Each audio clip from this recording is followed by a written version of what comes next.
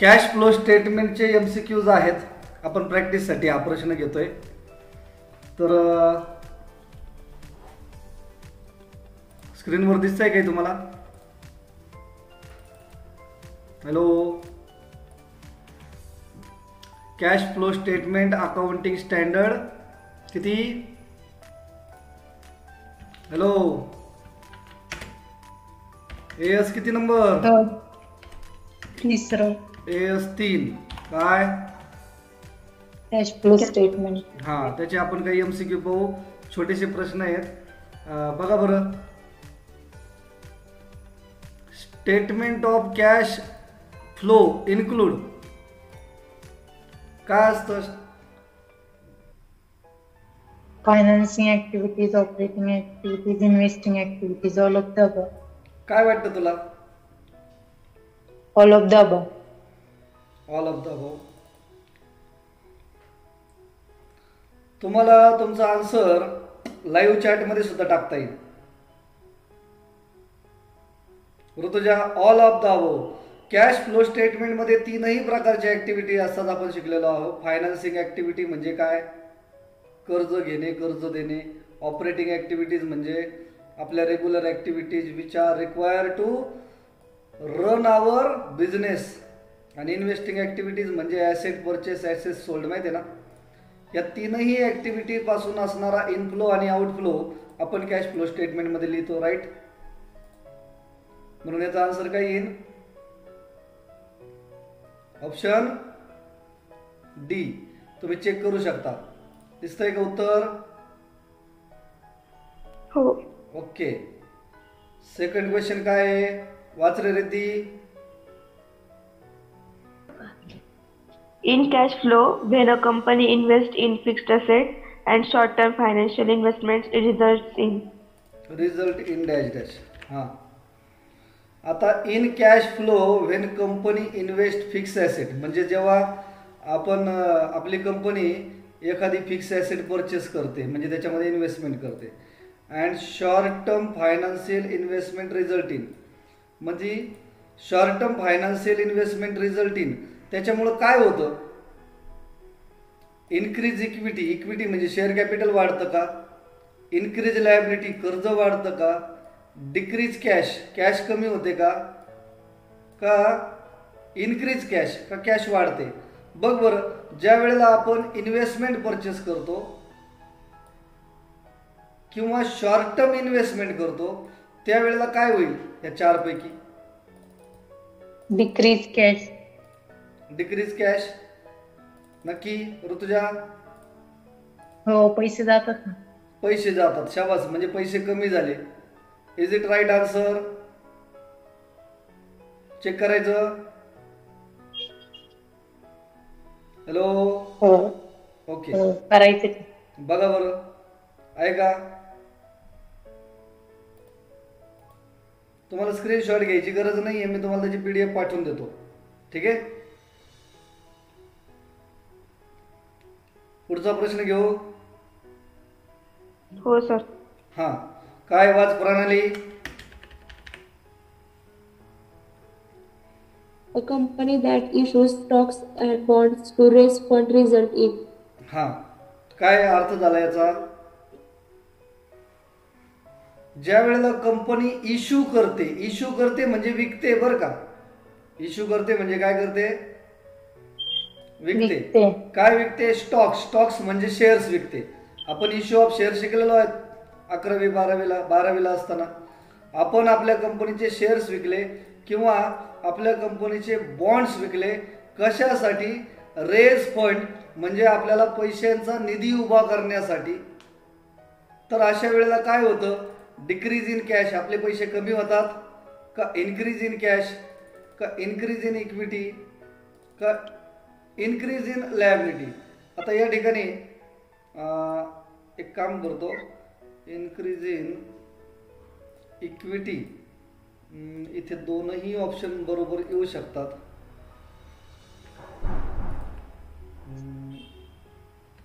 Increase in reserve असं टाकतो मी. हां. म्हणजे एकच उत्तर राहील. सांगा काय वाटतं? आपण आपल्या कंपनीचे शेअर्स विकले. शाबास. काय? ऋतुजा? cash. म्हणजे option B. Option B is it right answer हो. चेक करू. बघा बरं. काय उत्तर आहे? बरोबर आहे का? हो. अभिषेक वाच पुढचा अभिषेक. फोर्थ वाला question The purchase value of asset over its serviceable life is categorized as dash dash. याचा अर्थ काय माहितीये का?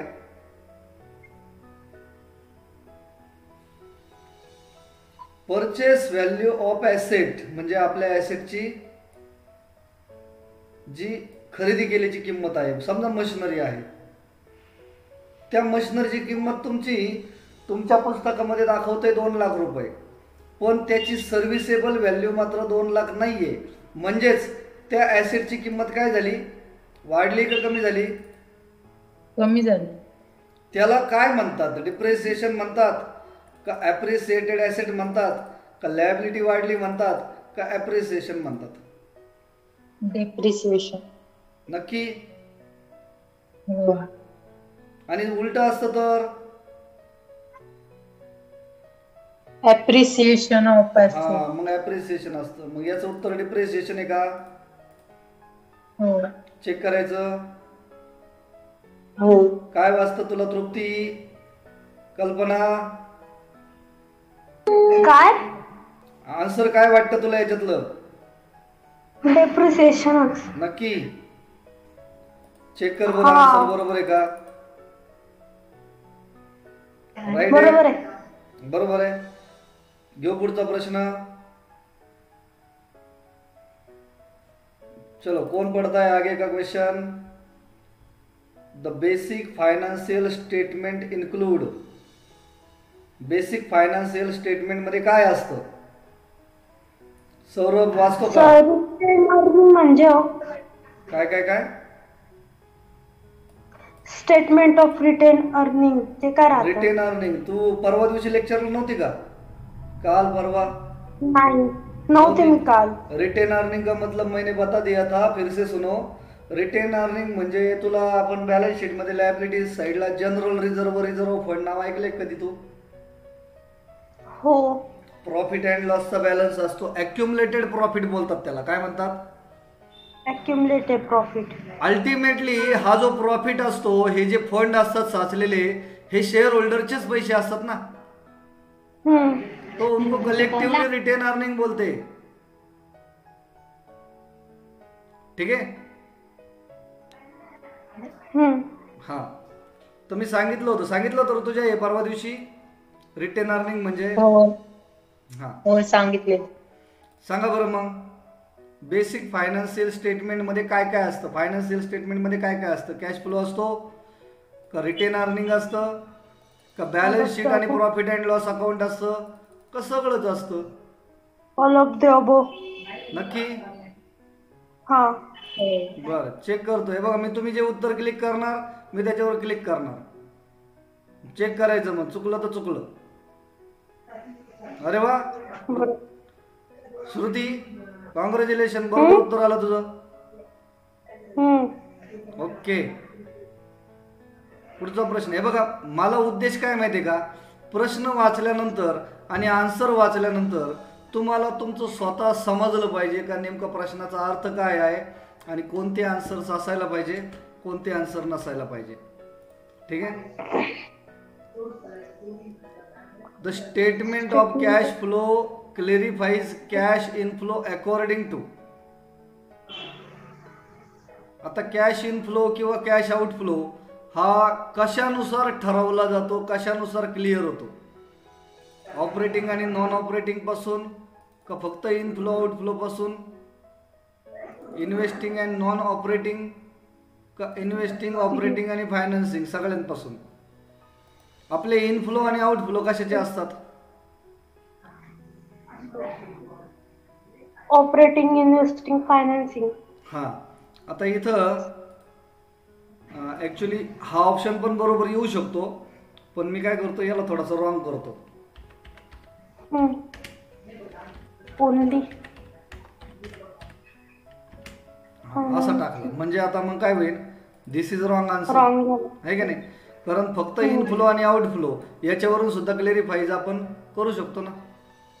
हम्म हा. मग आता याचा आन्सर एकच राहिलं सांगा. डी? ऑप्शन डी हम्म बरोबर आहे का रे? गायत्री आरगडे. प्रतीक्षा. हा, बरोबर आहे. बरोबर नक्की. हो. बघूया चेक करू आपण. वा वा व्हेरी गुड तुम्हाला खरंच माहिती आहे का तुम्ही अंदाजे सांगताय? काय? नाही मेथड आहे त्याच्या म्हणून हा. सातवा प्रश्न काय आहे का आता? Cash for example from financing activity is hmm. Cash आता फायनान्सिंग ऍक्टिव्हिटी हे लक्षात घे ना. फायनान्सिंग म्हणजे कर्ज हा. मग याच्यानुसार फायनान्सिंग म्हणजे एकतर आपण कर्ज केले दिलेलं असेल किंवा कर्ज घेतलेलं असेल. ठीक आहे? घेतलेले कर्ज असेल किंवा दिलेले कर्ज असेल त्याच्यावरचा cash flow payment of dividend पहिला ऑप्शन म्हटलंय. रिसिप्ट ऑफ डिव्हिडंड इथं ऑन इन्व्हेस्टमेंट टाकायची गरज नाही आहे कॅश रिसिव्ड फ्रॉम कस्टमर आणि परचेस ऑफ फिक्स ॲसेट ज्या वेळेला असा प्रश्न तुमच्यासमोर येईल ना त्यावेळेला काय करायचं माहिती आहे का? आपल्याला त्यांनी काय विचारलंय? कोणत्या ऍक्टिव्हिटीनुसार विचारलंय? फायनान्सिंग ऍक्टिव्हिटी तुम्हाला कोणतं उत्तर आहे हे माहिती नसेल तर अशा वेळेला काय करायचं माहिती आहे का श्रुती? कोणतं उत्तर नाहीये हे शोधायचं. आपण शेवटून सुरुवात करू. सांग. फिक्स ॲसेट खरेदी केल्यानंतर कोणती ऍक्टिव्हिटी असते का. इन्व्हेस्टिंग इन्व्हेस्टमेंट बरोबर ना? आपल्याला आपल्या कस्टमरकडून पैसे मिळाले ही कोणती ऍक्टिव्हिटी झाली? ऑपरेटिंग शाबास. ऑपरेटिंग ऑपरेटिंग बरोबर? म्हणजे सी आणि डी उत्तर नाहीये डेफिनेट हा. रिसिट ऑफ डिव्हिडंड डिव्हिडंड मिळाला. डिव्हिडंड कधी मिळतो? जेव्हा आपण कुठंतरी काहीतरी इन्व्हेस्ट करू तेव्हाच ना? हो इन्व्हेस्टिंग विनाकारण डिव्हिडंड मिळेल का? कोणी कोणाला देईल का? नाही. नाही. मग डिव्हिडंड मिळाला म्हणजे ऑब्विसली तुमची कुठेतरी इन्व्हेस्टमेंट आहे. झाली. म्हणजे ही कोणती ऍक्टिव्हिटी झाली? इन्व्हेस्टिंग इन्व्हेस्टिंग मग आता तीन उत्तर तर नाही आले. मग डेफिनेट काय आन्सर असणार? A payment of dividend of आणि त्याचं कारण पण सांगतो. डिव्हिडंड आपण पे करतोय म्हणजे आपण कंपनी आहोत आपण शेअर्स विकलेले आहेत. बरोबर ना? आपण शेअर्स विकलेले आहेत म्हणजे आपण लोकांकडून कर्ज घेतलेलं आहे. म्हणजे शेअर होल्डरकडून घेतलेले पैसे हे फायनान्सिंग ऍक्टिव्हिटी मध्ये जातात ना? मग is it A option A is right answer okay check करायचं? हो. हो. बघा बरं. बरोबर आहे का? रिया हो. हा? हा बरोबर आहे सर. ओके. चलो नेक्स्ट काय रे पुढचा प्रश्न? Cash flow example from investing activity is परत सेम क्वेश्चन आला. काय वाटतं तुम्हाला? चुकायचं नाही आपल्याला. नाही सर मला उत्तर येत होतं पण चुकून चुक चुकीचं माझ्याकडून क्लिक झालं असे पर्याय त्या तपासणाऱ्याला किंवा कम्प्युटरला समजत नाही. तुम्हाला राईट आन्सरच क्लिक करायचं आहे इन्व्हेस्टिंग आहे इन्व्हेस्टिंग तुम्हाला समजत नसेल तर प्रत्येकाला चेक करा. अरे भाऊ तू इन्व्हेस्टिंग आहे का फायनान्सिंग आहे का ऑपरेटिंग आहे? विचारा. काय वाटतं पहिला? इश्यू ऑफ डिबेंचर डिबेंचर विकले. म्हणजे आपण आपल्या कंपनीचे डिबेंचर विकले म्हणजे लोकांकडून कर्जाने पैसे घेतले. म्हणजे हे ए नावाची कोणती ऍक्टिव्हिटी होईल रे? हॅलो इन्व्हेस्टिंग इन्व्हेस्टिंग होईल? नाही. नाही नाही. ऑपरेटिंग फायनान्शियल फायनान्शियल जरा नीट विचार करा ना. आपण आपल्या कंपनीचे डिबेंचर्स विकले म्हणजे लोकांना डिबेंचर कर्ज रोखा विकला त्याच्या बदल्यात कर्जाने पैसे घेतले. डिबेंचरचा अर्थच आहे मराठीतून कर्ज रोखा. म्हणजे कर्जाने घेतलेले पैसे. मग कर्जाने घेतलेले पैसे मग इन्व्हेस्टिंगमध्ये येतं का ते? का फायनान्सिंग म्हणलं की. हा. Repayment of long term loan long term loan म्हणजे आपण पूर्वी कधीतरी कर्ज घेतलं होतं ना? त्याचं रिपेमेंट केलं. रिपेमेंट केलं म्हणजे पैसे दिले. गेले. मग हे कर्ज मिटवलंय ना? हो. म्हणजे हे काय असेल? ही गुंतवणूक झाली का? कर्ज मिटवलं म्हणजे. गुंतवणूक झाली का? नाही. हे पण फायनान्सिंग आहे.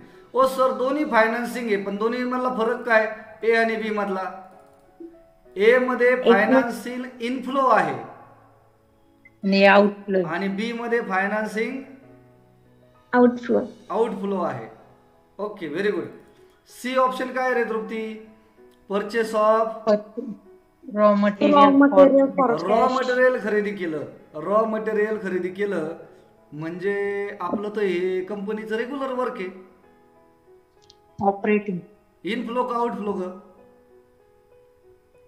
आउटफ्लो परचेस फ्लो परचेस केले पैसे गेले. पहिलं फायनान्सिंग दुसरं फायनान्सिंग तिसरं ऑपरेटिंग आपल्याला तर विचारलं इन्व्हेस्टिंग मग काय उत्तर? इन्व्हेस्टिंग डी आन्सर कळलं का? हो. म्हणजे तुम्हाला एखादं उत्तर येत नसलं तरी. घाबरायचं कारण? नाही. कोणते उत्तर नाही येत ते शोधा. किमान तुम्हाला निम्मे आन्सर तरी अर्धे आन्सर तरी एलिमिनेट करता येतात ना. काय उत्तर येईल मग याचं? डी. आहे का? हो. हो. ओके. पुढचा प्रश्न काय? नववा. Riddhi वाजग. Cash flow example from an operating activity is. हा आता ऑपरेटिंग ऑपरेटिंग म्हणजे आपलं रेग्युलर वर्क पाहिजे ना? सांग बरं कोणतं रेग्युलर वर्कच आहे मग याच्यातलं? पहिलं purchase of own debenture own debenture म्हणजे काय माहितीये का? आपण विकलेले जे कर्ज रोखे होते ना आपण विकलेले जे कर्ज रोखे होते ना त्याचे पैसे परत म्हणजे त्यांना त्यांचे पैसे परत देऊन टाकले आणि त्यांच्याकडून डिबेंचर बाय बॅक केले पुन्हा. म्हणजे हे थोडक्यात डिबेंचर मला सांगा. आपली ऍसेट आहे का? लॅबिलिटी आहे. डिबेंचर कोणत्या मग परचेस केलं ते म्हणजे आपलं कर्ज मिटलं ना? हो.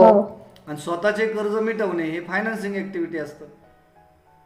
हो. फिक्स ऍसेट विकली मशिनरी विकली बिल्डिंग विकली कोणती ऍक्टिव्हिटी असते? इन्व्हेस्टिंग असते. बरोबर? आपल्याला तर विचारलं ऑपरेटिंग म्हणजे पहिलं पण नाही दुसरं पण नाही. तिसरं काय म्हटलंय? Interest paid. On term deposit. By a bank by a काय म्हटलंय? बँक म्हणजे इथे कोणत्या प्रकारची बिझनेस ऑर्गनायझेशन आहे? बँक मग बँकेमध्ये लोक जे टर्म डिपॉझिट म्हणजे पावती करतात ना फिक्स डिपॉझिट त्याच्यावर ते बँक व्याज देते का नाही? हो देते. मग हे बँकेचं रेग्युलर काम आहे ना? हो. म्हणजे हे ऑपरेटिंग असू शकतं. हो. आणि ती काय म्हटलंय? Issue of equity share capital म्हणजे शेअर्स विकले. शेअर्स विकले म्हणजे लोकांकडून कर्ज घेतलं. म्हणजे फायनान्सिंगमध्ये जाईल. मग काय आन्सर येईल रे याच्यामध्ये? सी सी नक्की. चेक करायचं? हो.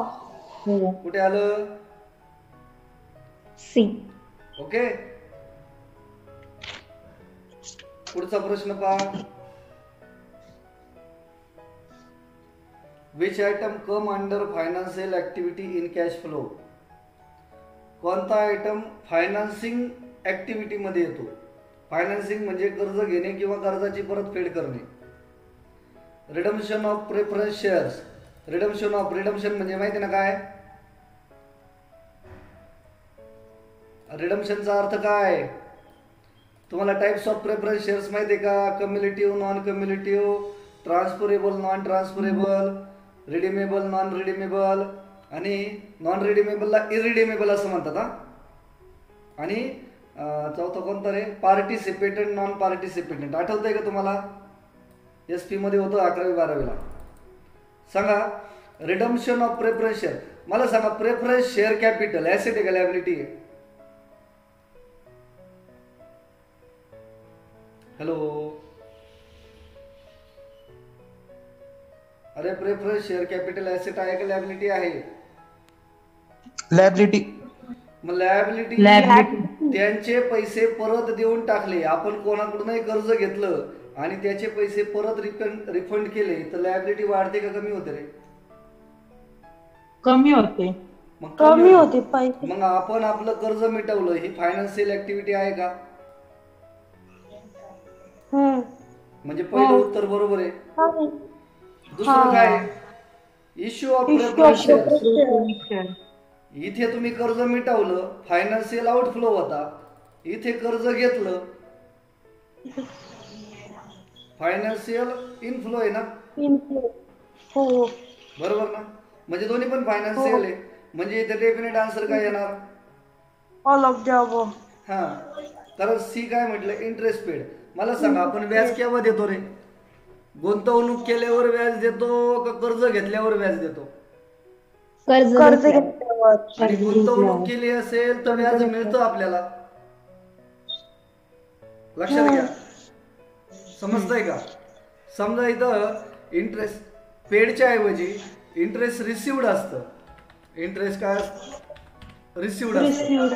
तर मग ही तुमची इन्व्हेस्टिंग ऍक्टिव्हिटी झाली असती. काय झाली असती? हम्म. पण इथे इंटरेस्ट पेड आहे ना. हो. म्हणजे कर्जाचं व्याज आहे. म्हणजे हे पण फायनान्सिंग आहे ना. हम्म. ओ सर तिन्ही पण फायनान्सिंग घेऊ मग उत्तर काय घ्यायचं? All of the all of the बघायचं उत्तर. सर इंटरेस्ट पेड असेल तर तीन हे असते का म्हणजे? फायनान्सिंग हा, बघा आता, financing ऐका आता, ऐका राहते. आता जरा. इंटरेस्ट पेड आपण व्याज केव्हा देतो? कर्ज घेतल्यावर. हा मग कर्ज घेतलं. कर्जावरचं व्याज म्हणजे फायनान्सिंग ऍक्टिव्हिटी मध्ये जातं ना? हो. आहे की नाही? हो. आणि जेव्हा रिसिवड असतं तेव्हा काय असतं मग? Investing Investment. इन्व्हेस्टिंग लक्षात आलं का? ओके हो. लक्ष समजले तुम्हाला? अशा पद्धतीने आपण रोज काय करू?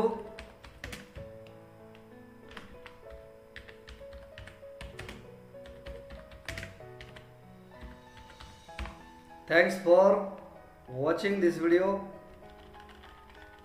thank you sir thank you thank you you, sir. अशा पद्धतीचे भरपूर व्हिडिओज तुम्हाला अवेलेबल होतील येणाऱ्या महिनाभरामध्ये नक्की पहा आणि चांगल्या पद्धतीने पेपर लिहा.